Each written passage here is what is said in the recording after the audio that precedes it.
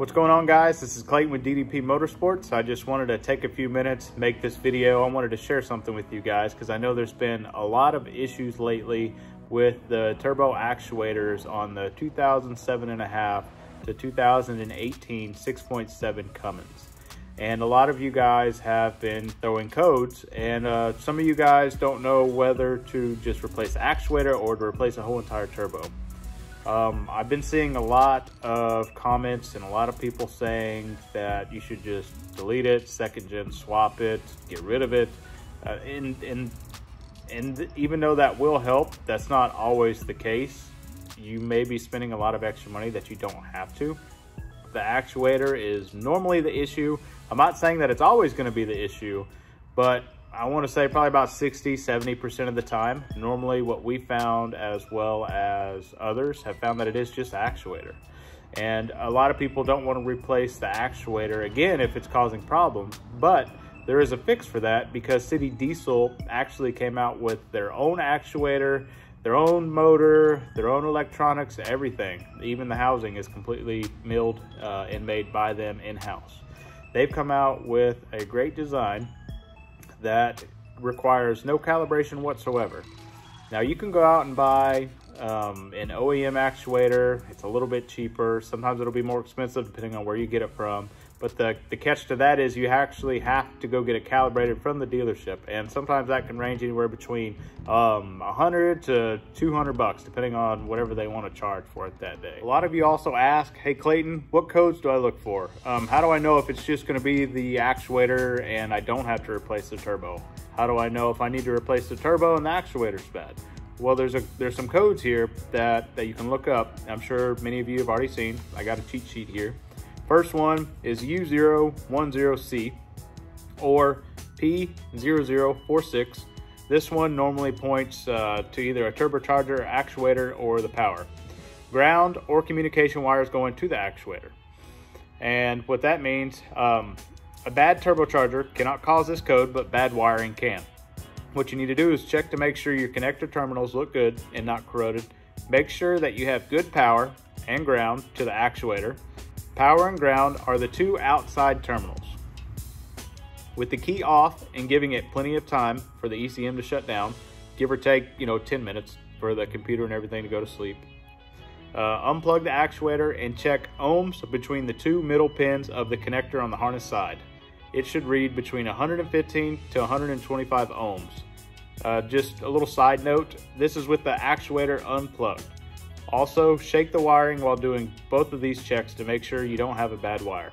Also, check ohms on these two pins on the actuator itself with the harness still unplugged. It should also read between 115 to 125 ohms. Uh, on the late model, the wire order goes ground, CAN low, CAN high, and power. But on the early model, it goes power, ground, CAN high, CAN low. The resistance check should be between CAN high and CAN low. And don't worry, I know this is a video. Um, I'm gonna have this posted up on the website underneath it. That way, if you need to revert back to it, you don't have to just keep watching the video over and over again. All you have to do is uh, go to the website. I'll make a PDF for it. That way you can print it off, uh, take it with you while you're doing your tests and your checks. The next code that we're gonna look at is gonna be the P003A. This one says the end stops could not be found by the actuator, and this is normally an actuator issue, but could be caused by removing the actuator without recalibrating it. So basically, if you went and tried to figure out the issue, you took off your actuator just to check the turbo vanes or something like that, and you put it back on, you could get this code and it has to be recalibrated. The next code that we're gonna look at is gonna be your P00AF.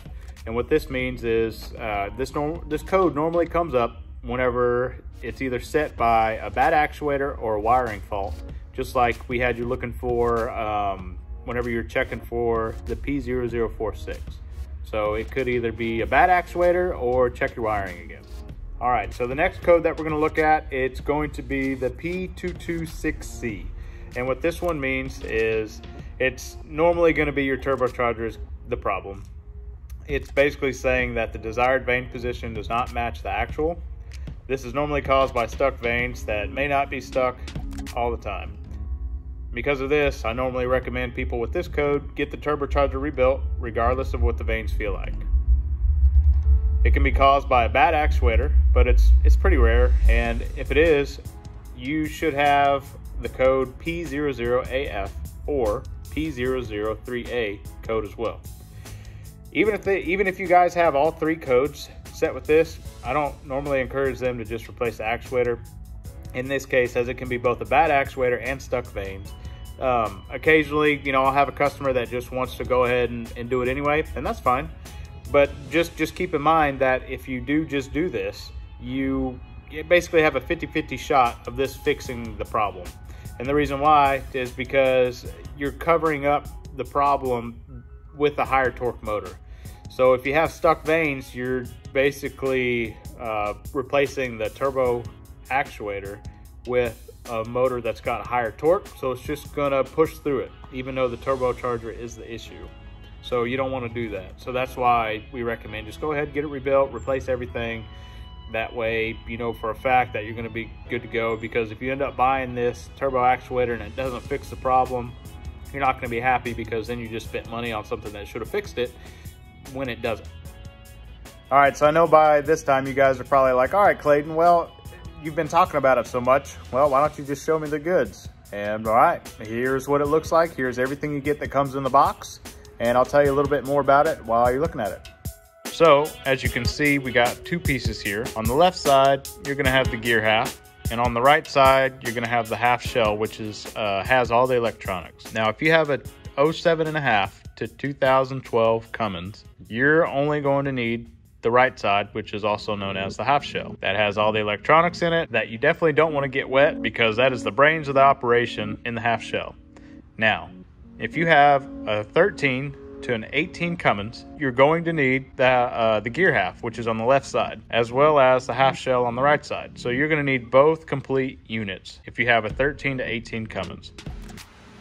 Now I know that some of you guys are like, okay, well, if you want me to pay $700 or $895 for this actuator, and the reason why there are two different prices is because you're gonna have the actual turbo actuator with the electronics in the motor, and that's called the half shell. And if you have a 2007 and a half to 2012 Cummins, that's the only piece that you're gonna need. And don't worry, nothing is rebuilt. All of this is brand new. You're getting new electronics, new motor, new brains, everything. Now, if you have uh, 2013 to 2018, you're going to have to combine this one, the half shell, as well as this one, which is the gear half. And that cost equals $895. And about 95, 98% of the time, all my customers have a 13 to 18 truck. So that's kind of why I like to touch base a little bit more on those uh, versus the 07 and a half to 12. So used to, whenever your actuator went out, you would have to get it replaced plus get it recalibrated. Well, thankfully, City Diesel, the manufacturer of this part, they finally designed something that requires no calibration whatsoever. Any do-it-yourselfer, hot shotter, um, somebody that just uh, has basic mechanical knowledge, you can replace this. It's not hard at all. The the biggest concern that you have to be careful of is getting the electronics wet whenever you're draining your coolant on the half shell. That's the only thing you need to worry about. I mean, besides, you know, the basic just being careful and whatnot. If you get the, the electronics wet, it will void your warranty because this is the brains of the operation. So you don't want to do that. Um, the warranty on this thing is basically two years hassle free as long as it doesn't show that you beat it with a hammer or something stupid like that, they're going to cover it.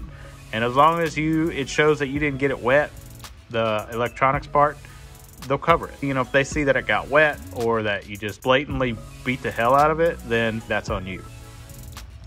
Also, just wanted to mention that when you order this part from us, we ship free two-day express shipping. Um, we also offer overnight. That way, if you guys are in a bind, all you got to do is just pay the difference. I think it's normally around 30 to 40 bucks, just depending on where you're at. If it's higher, we'll let you know. But as a thank you for your business, we ship these out free two-day express shipping. That way, you guys can get it immediately, or at least as fast as possible, because a lot of our customers that order these, it's normally too late. They're in a bind and they need to get back on the road. And unfortunately, a lot of our customers use their vehicles for work or it's their only uh, driver and they got to get back on the road. So that's why we offer that for you guys. It's free of charge. You don't have to pay for it. We do it. We do it for you. So thank you so much for your business. All right, so now you're asking, where do I get it from? How do I get one? I need one. My truck is down. So what you need to do is you go to ddpmotorsports.com and you just type in the search bar City Diesel or City Diesel Turbo Actuator, Turbo Actuator, and it will come up. You're gonna have two, two different options to choose from, your 07 and a half to 12 and your 13 to 18 truck. And you just pick yours uh, and you check out, put your name on one, and then we'll get it shipped out the very next day as long as it's in stock. If you're still unsure or you have some questions, feel free to give us a shout. You can either email us at ddpmotorsports at outlook.com or you can give us a call, 866 895 3833. So feel free to give me a shout anytime. My name is Clayton, and I'll be more than happy to help you out. And we greatly appreciate the opportunity to earn your business.